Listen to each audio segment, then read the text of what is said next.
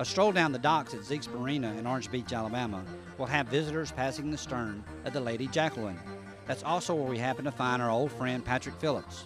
Patrick is an excellent angler and a captain in his own right, and is teamed with Captain Butch Pardue, owner of the 45 Foot Hatteras.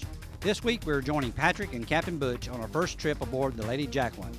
The unique timing of this overnight trip will allow us to fish for amberjack until midnight when the season closes. One minute later, the first day of snapper season will commence.